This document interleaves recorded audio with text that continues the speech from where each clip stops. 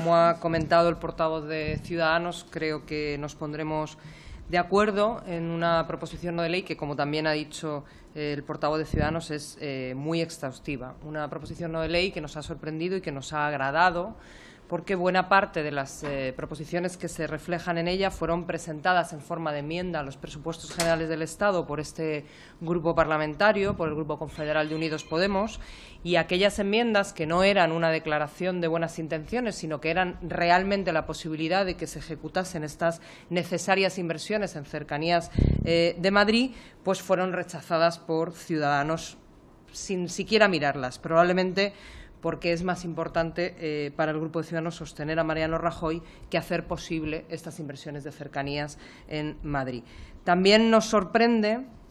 que eh, ninguna de las medidas que algunas están recogidas en esa proposición no de ley que afecta al Gobierno de la Comunidad de Madrid sean de las condiciones que ha puesto el Grupo de Ciudadanos para volver a apoyar a la presidenta Cristina Cifuentes en los próximos presupuestos y que ni siquiera su portavoz eh, en el debate del Estado de la región mencionara estas necesidades. A pesar de ello, como ha dicho el portavoz de Ciudadanos, eh, como nosotros venimos igual que ellos trabajando las necesidades de estas cercanías desde hace mucho tiempo y estamos comprometidos con ella, hemos hecho una batería larga e exhaustiva de enmiendas tratando de mejorar la propuesta porque, eh, bueno, pues bienvenidos sean todos los partidos a pensar en el bien de la ciudadanía y no en el interés de, partido. Eh, por tanto, eh, algunas de las cosas que se han debatido también en la enmienda anterior, como la urgente y vergonzante eh, incumplimiento de esa Ley 10-2014 que obliga a hacer accesibles a las personas de reducida movilidad el conjunto de las infraestructuras de transporte.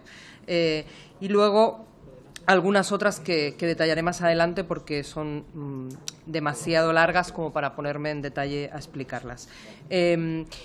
decía que nos sorprende y nos agrada porque Ciudadanos lleva dos años eh, apoyando a la presidenta Cifuentes y un año al presidente Rajoy y en todo este tiempo digamos que ninguno de sus posicionamientos y apoyos se ha condicionado a la mejora de las infraestructuras. Eh, apoyaron sin rechistar los, los, presupuestos de Rajoy, cuya mayor inversión en Madrid no es para mejorar los servicios públicos, ni las cercanías, ni ningún otro tipo de servicios públicos, sino es para la ampliación de la Nacional A1, una inversión que no resuelve, y ustedes así lo reflejan en la PNL, ni los problemas de movilidad eh, y que tiene como único objeto conectar a España del norte con las salidas al mar, porque eh, ahora que es tiempo de cada uno hablar de su territorio, Madrid, para mucha gente y sobre todo para el PP, es un lugar de tránsito donde poder planificar infraestructuras en lugar de ser el espacio donde habita eh, buena parte de la ciudadanía y donde poder utilizar las infraestructuras para cohesionar la región y mejorar las condiciones de vida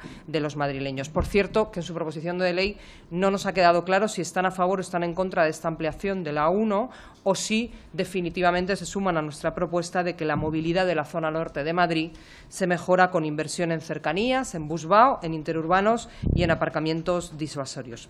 A pesar de ello, eh, vamos a hacer una, hemos hecho una batería de propuestas, estamos seguros que nos vamos a poner de acuerdo, al igual que nos parecen correctas las presentadas por, por el Grupo Socialista. No dispongo de tiempo de explicar el detalle de esas eh, eh, ocho enmiendas que hemos presentado eh, y haré como tres bloques de explicación. Por un lado, hemos hecho algunas propuestas que, a nuestro entender, son mejoras técnicas, bien por un mayor compromiso de ejecución de lo que aquí se refleja para que no sean brindis al sol, o bien para una cuestión crucial que a ustedes se les suele olvidar, que, comparten con el Partido Popular este pequeño olvido, y es que las instituciones locales son cruciales en la planificación y coordinación de cualquier infraestructura. En varios de los apartados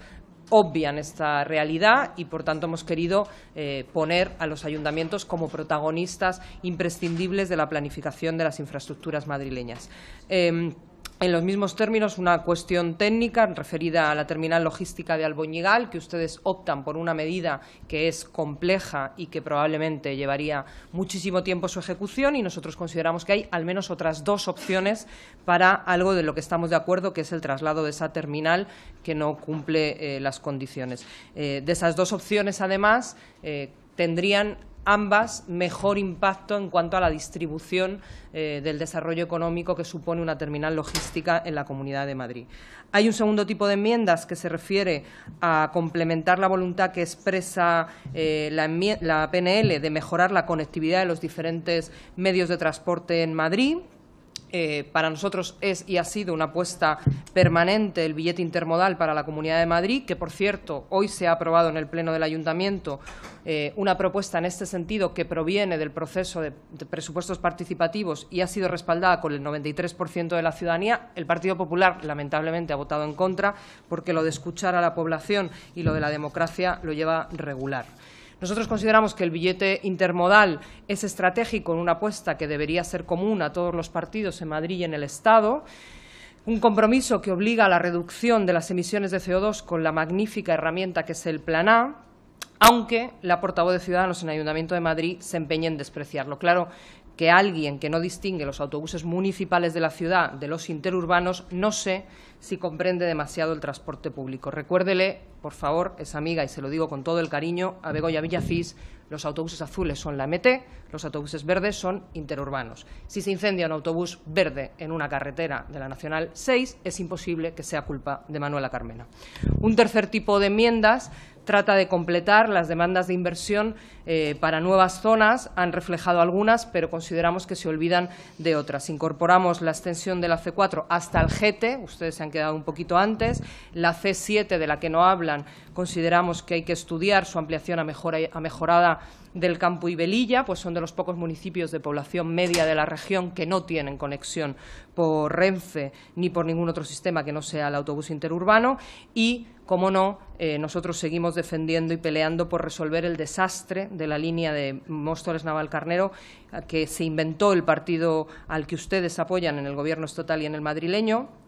por si les pasa como a la presidenta Cifuentes, que sufre de amnesia sobre la actuación del Partido Popular en Madrid en el pasado, les, recordaré que cuando la señora Cifuentes era eh, responsable territorial de las campañas electorales del PP, decidieron promover una línea eh, en colaboración público-privado a Navalcarnero. Desde entonces hay montones